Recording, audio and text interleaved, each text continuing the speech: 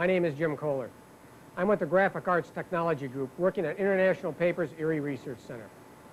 The video you are about to watch will demonstrate a typical high-speed commercial web offset press. There are basically three types of web offset presses. The first is a small for business forms press, for any paper in the 17 to 18 inch width range. These presses print only one side of the paper at a time. To print the back side, the sheet must be turned over on press. These presses are not heat set. In other words, ink is not dried by heat, but by absorption into the paper and air. Presses of this type will generally have web speeds in the range of 600 to 900 feet per minute. The second type of web is larger and prints paper in the 24 to 26 inch width range. This press is much like the press you're about to see in that it is heat set. Ink dries by heat, and it prints both sides of the paper at the same time. This type of press is known as a heat set perfector. Printing speeds for this type of press would be in the 900 to 1,000 feet per minute range, printing a total of 8, 8.5 by 11 pages at a time. The last type of press prints web widths from 30 to 38 inches with a typical width of 35 inches. The press is also heat set and prints both sides of the paper at the same time. The typical speed of this press would be in the 1,400 feet per minute range, printing 16 pages at a time. There are, of course, larger and newer presses printing web widths up to 58 inches and speeds maximizing at 3,000 feet per minute. The press you will see in this video is a Heidelberg Harris M1000B web. This type of press prints both sides of the paper at the same time, drying the ink by heat, and then folding the printed paper into two eight-page signatures. The signatures are made up of page one, two, three, four, etc. The signatures will be collected later and bound by staples or some other bindery method to produce a publication. This type of press is a high volume press, printing magazines, publications, advertisements, direct mail, etc. Hammermill and Springhill grades are natural for this type of press. To give you some idea of the capital investment for a press of this type, a printer will spend in the area of $6 million depending upon add-on equipment. As I indicated, this press is heat set, meaning that ink dries by heat. The typical heat set high-speed web is made up of several components. The first is a roll stand, which supports the unwinding roll as well as a spare roll. The second is the tension controller to automatically monitor and adjust the tension of the paper being fed into the printing units. This press has four printing units using black, cyan, magenta, and yellow ink to produce color photographs, text, etc. Once the ink has been placed on the paper by the printing units, the solvent in the ink is evaporated in the heat set oven. Following the heat set oven, the web passes several chill rolls which are rolls that have cold water running through them to help cool down the web and set the ink. Following the chill rollers, the press contains small coaters on each side of the web to apply a light silicone water solution to the paper. This helps reduce marking on coated paper as it travels through the folder. These coaters are also good for adding slight amounts of moisture back into the printed sheet. Following on press silicone coating, the web can be slid into two small webs and these webs can then be cut and folded into the two eight-page signatures. Many of these presses will also contain a sheeter, allowing the web to be cut into sheets instead of folded signatures. Many presses of this type will also contain punching, perfing, and varnishing coating towers to apply specialty items to a printed product. To see how this press works, we will start at the beginning. Let's start by taking a closer look at the backstand.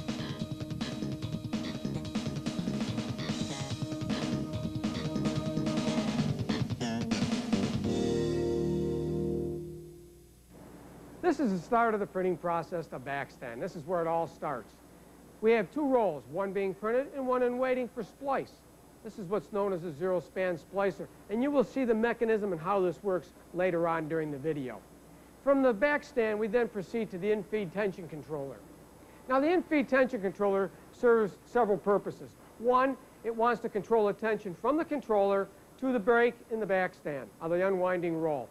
This wants to isolate all those little oscillations we get from an unwinding roll so that a positive rate of feed, a constant rate of feed, is put into the printing units. If this is not maintained, registration or the alignment of images will start to go all over the place. Also, there's a web guide controller in here that keeps those lateral movements side to side, so to speak, in adjustment and in perfect alignment. Following the in-feed tension controller, now we hit the main four printing units. Now, while this press only has four printing units to produce a primary color photograph, there are many high-speed commercial webs that have six or even seven printing units. And the reason that is, is they want to have the four process main colors, which are black, cyan, magenta, and yellow. But also maybe they want a special pink or a special blue or a gold or another metallic. Well, they do that with special units. This is very common in commercial printing. Again, this press really has the four main units consisting of the black printing unit. And once we print the black, we follow it up with the cyan printing unit or the cyan ink, followed then by magenta or a reddish color. And then finally, or last but not least, is yellow. And that completes the four colors. Well, once we put the ink on the paper, we have to now dry it. Now this ink does not dry by absorption, as I indicated earlier, it dries by heat.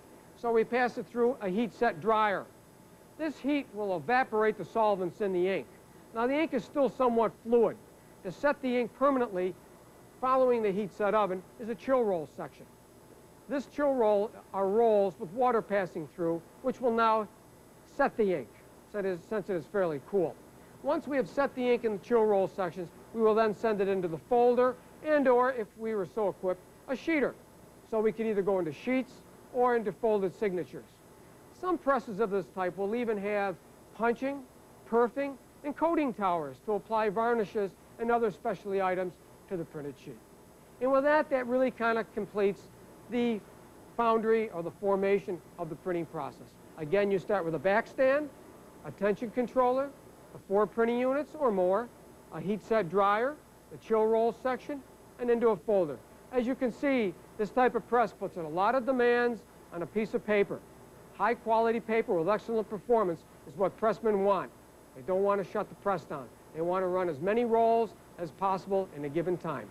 So only high quality paper counts to give not only good press performance, but good print quality. And hopefully with Hammermill Springhill, we can do that.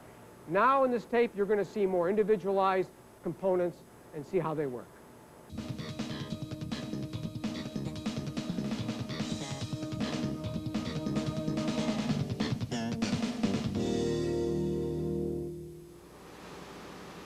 Backstud holds two rolls of paper, one being printed and the other in position for splicing at the conclusion of the running or printing roll. The roll in position to be spliced is still and is not moving or turning. Once a splice has been made, the operator will take the finished roll out and place a new roll into the empty backstand position. To do this, he will take the end caps off the roll and place a core shaft into the core. The operator will then place a new roll into position, readying it for splicing.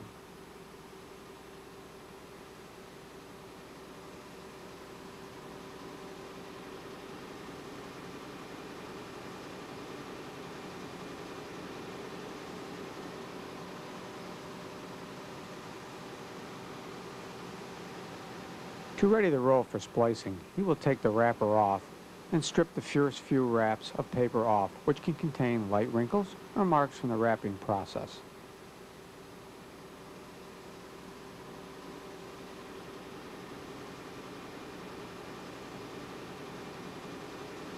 Obviously, the operator would like to take a minimum amount of waste off, as this is waste paper and not being used.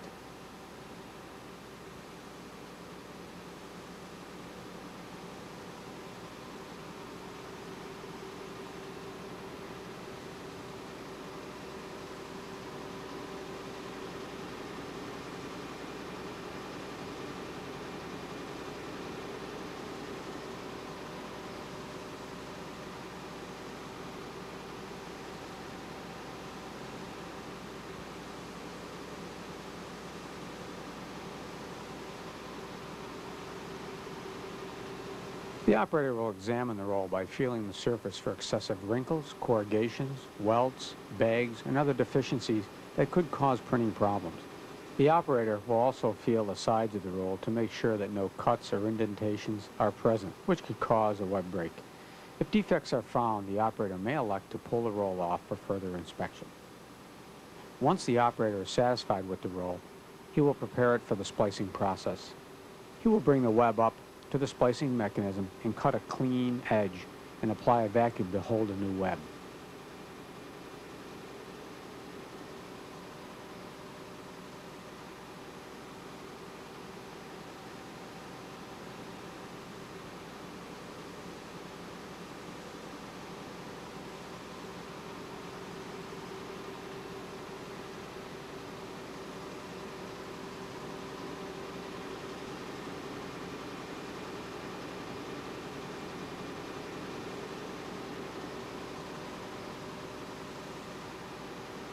A special splicing tape will be applied to the web to join the running roll with the new roll.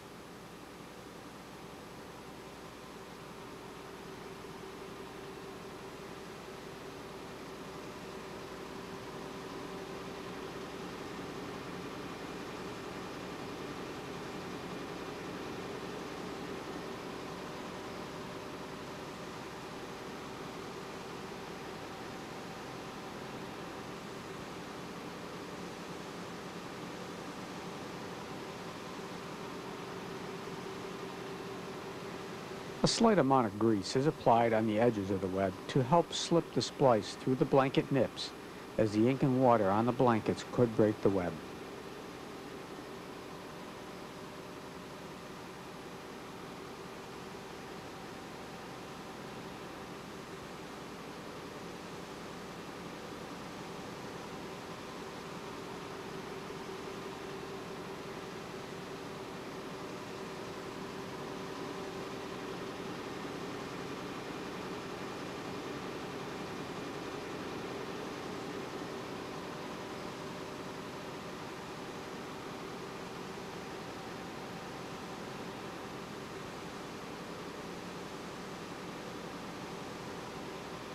To see how a splice is made, you'll see in this animation that the roll on the right is the running or printing roll, and the roll on the left is the roll ready for splicing and stationary.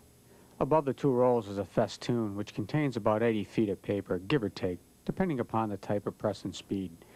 The festoon consists of several rollers and holds enough paper to feed the press during the splice since the new roll is not running.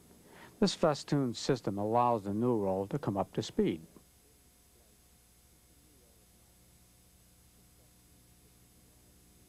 Once a splice is ready to be made, the festoon begins feeding paper to the press.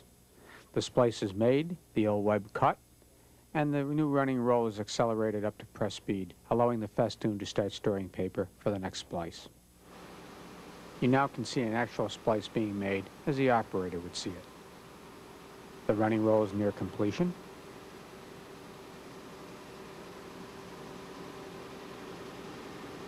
And the splice is made.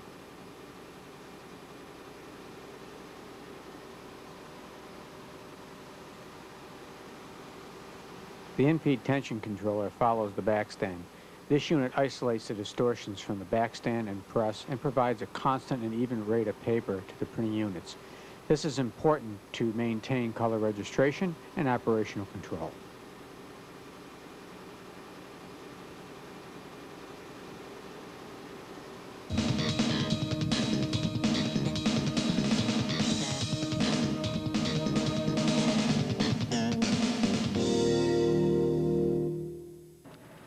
Visit one of the typical printing unit used on this press to print four colors. We're going to go in and take a look at the magenta printing unit, which is the third printing unit. As you can see, it's comprised of a blanket, an offset plate, and the inking system. A fountain solution of dampening unit is on the other side of the unit, and we'll take a look at that in a minute. As I indicated earlier in the tape, this is a perfecting press, meaning we're printing both sides of the paper at the same time. Thus, the bottom of the press is a mirror image of the top, meaning we have a blanket, an offset plate, and another inking unit with the web traveling in between to print both sides at the same time. And you'll notice one thing about this press. The blanket cylinder is twice the diameter of the plate cylinder, meaning the plate cylinder must make two revolutions for one revolution of the blanket. The reason this was done on this particular model of press was for speed.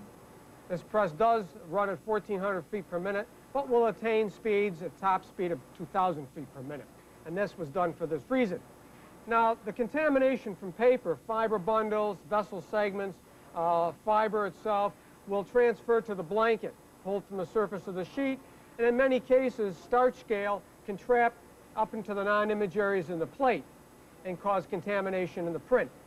This material will go even further sometimes and trap itself up into the inking unit. What goes up can come back down, and it's a recirculating process. The effect is the pressman must stop the press, wash the blankets to eliminate the contamination in the paper. Now the back side of this unit, and we'll look at the yellow unit since it's easier to get to, shows the ink sump. There's one on the top, one on the bottom, and the fountain solution system. Now the ink is pumped in via a tote bin. and it's a constant system. It's a sonar device to pump in only what's needed. Since it's a heat set operation, remember the heat is needed to dry the ink. We can leave the ink in the sumps and it won't dry up. This is the fountain solution, and it's recirculated through a cooling unit to keep the fountain solution cool. And with that, that concludes what a press unit looks like. We're at the ink feed station where ink is supplied to the press for printing. You'll notice we're pumping out of 400-pound tote bins. The commercial printer will use something about four to five times this to supply his ink to the press. Since this is a, only a four-color press, we are using the primary ink colors, which are yellow, magenta, which is a form of red, cyan, which is a form of blue, and black, which of course is a form of black. Ink is pumped via pneumatic pump, which is controlled by a sonic leveler in the ink fountain. As the sonic leveler uh, senses that the ink is decreasing, the pump is activated and pumps more ink into the system. As the system level comes up, the sonic device senses that and shuts the the pump off. We also can monitor how much ink we're using for a particular job as there is a pump counter to record in pounds. And that way, we as the printer will know how much ink we have used totally for a job. This is the uh, inking and fountain solution unit uh, that applies the ink and the fountain solution to the offset plate. Now you notice in the bottom yellow uh, where the ink is pumped in automatically uh, from a, a, tote bin, uh, a mixer travels back and forth to keep the ink, uh, so, to, so, to speak, in solution. There's a ductor roller that picks up the ink and transfers it to the inking system. Now, if the pr pressman wants more ink across the whole width of the paper, he speeds that ductor roll up to apply more ink. But if he wants just one spot of ink uh, on a certain area of the paper, uh, he can open up a position, and you'll notice the numbers 1, 2, 3, 4, 5, etc., going across the width of the press. He can open one or a series of these at any location to allow a small amount of ink in that particular location to be applied to, to uh, increase ink density. Up above we have the fountain pan uh, and a roller which basically picks up the, the fountain solution and applies it to a series of rollers which finally applies it to the offset plate. We're now at the fountain solution sump area where fountain solution is pumped to all four of the units. Now the fountain solution's purpose on the press is to keep the non-image areas clean on the plate. In other words, we don't want ink to print on the non-image areas where it's not wanted. That's the fountain solution's function. Now this sump holds around 50 gallons of fountain solution, supplying it to all four units, which is then recirculated back to this unit. Containing in this unit, we also have a filtration system to take that return material, try to clean it and remove the contaminants from paper, and then feed clean fountain solution back to the press units. We also have, on this particular unit, a chilling device. In other words, we can cool the fountain solution down to around 62, 63 degrees Fahrenheit. The reason we do that is very simple. We want to raise the viscosity by cooling it to allow that fountain solution to transfer on the dampening rollers much easier. We also can measure conductivity. Conductivity is a measurement we printers use to measure contaminants coming into the system caused by paper. We also can take a manual measurement of pH. Now this fountain solution is acidic. Its pH is around 4.0. That's very important because one of the materials used in fountain solution is called etch. We need to know that as that pH rises, that etch becomes less effective. Now fountain solution is very simple. It's a pre-mixed etch mixed in with water, and that's all it is.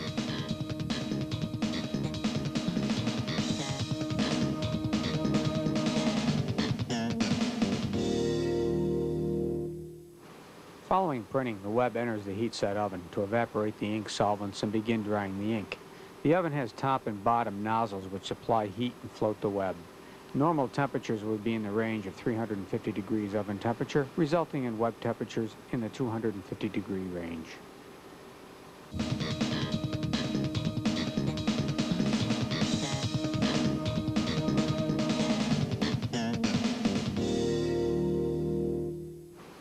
Once the web exits the heat set oven, we need to cool the web down and set the ink. Web temperatures at this point will be in the neighborhood of 250 degrees Fahrenheit. To cool the web down, heat set presses contain a series of chill rolls. This press is configured with four chill rolls. Chill rolls operate by pumping cold water through them. The cold rolls will draw the heat out from the web, cooling it down to ambient temperatures. The other function of the chill roll section is to control tension going into the folder.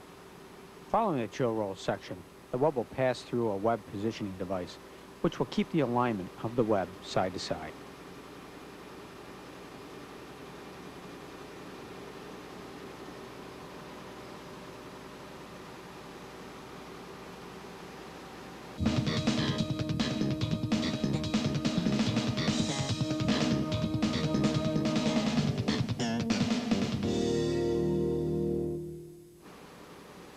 Web tensioning device, the web will then pass through small coaters on each side of the web. These coaters will apply a light silicone water static eliminator mixture to the surface of the web. This is done to help prevent sheet marking when passing through the folder and to help add some moisture back into the web and to help eliminate static.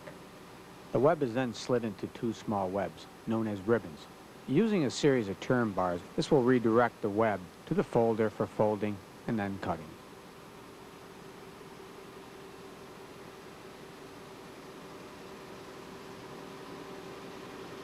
To fold the web, a device known as a former or plow board is used. Sheet strength is very important here as there is a very high amount of sheet stress when passing over this device. Cracking at the fold will occur at this point. Following the plow board, the web is cut by a rotary cutting cylinder, which we are unable to see, and the signatures are then transferred onto delivery belts to the signature stackers.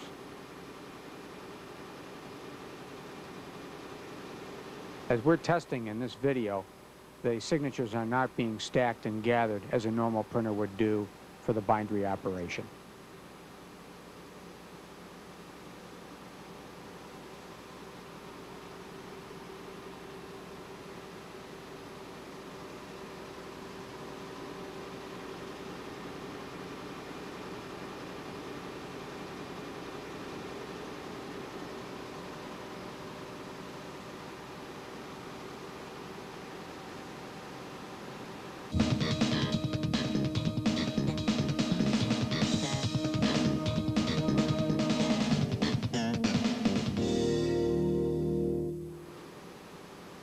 Keep the alignment of colors, the press uses an automatic registration device.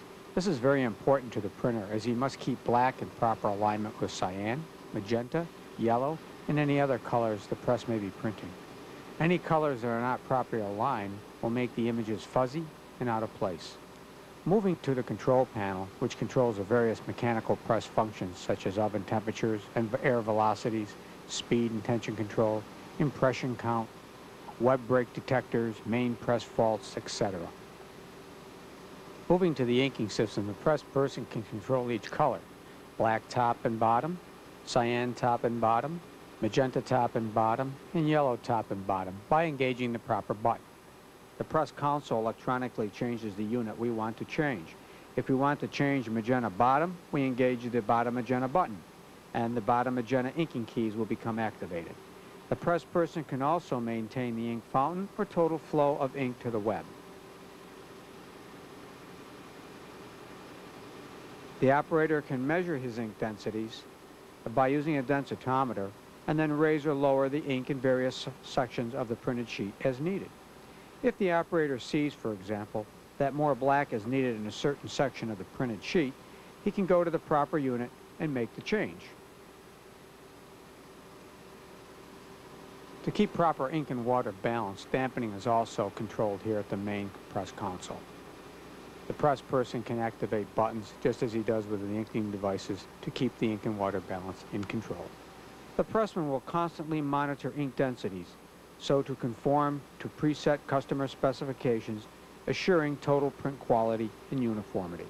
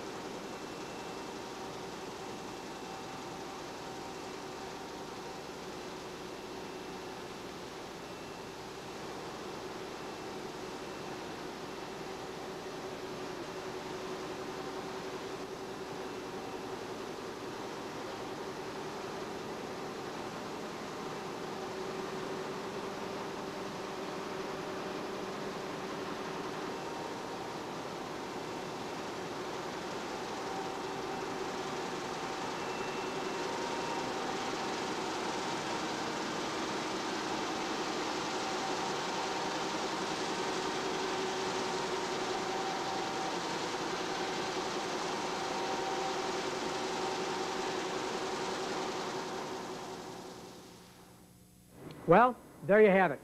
You've seen the workings of a high-speed commercial web press.